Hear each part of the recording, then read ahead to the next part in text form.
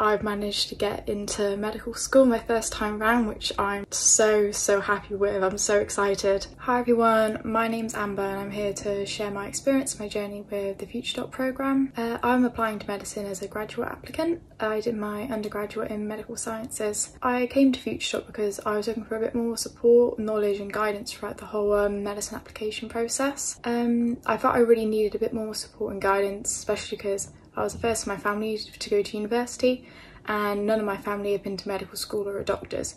So I was really quite in the dark about what was involved in the whole application process and I felt I really needed a bit more inside knowledge and information so that I could optimise um, my application. So Future Doc was amazing. From the day I joined I had access to so many um, helpful videos on literally every aspect of the medical application, be it your UCAT, personal statement, uh, and also um, applying strategically to different unis, which I thought was, I would not have thought of that if I wasn't with Future Doc. So that was really, really helpful. One of my, there were lots of favourite experiences with Future Doc. One of my favourites was having the one-to-one -one tutors. My tutor was absolutely amazing. He helped me so much with every aspect of my application. He put so much time, effort, and he really helped my um, build my confidence in my application, which was so so important. Another like key standout point for me with Future Doc was the interview mock day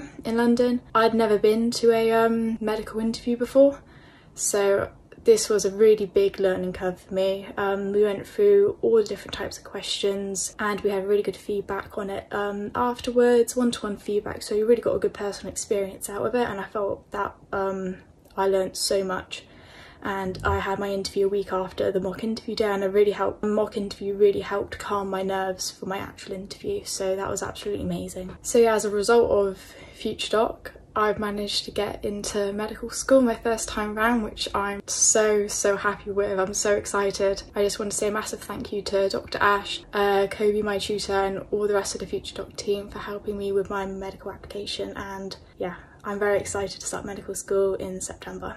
Thank you.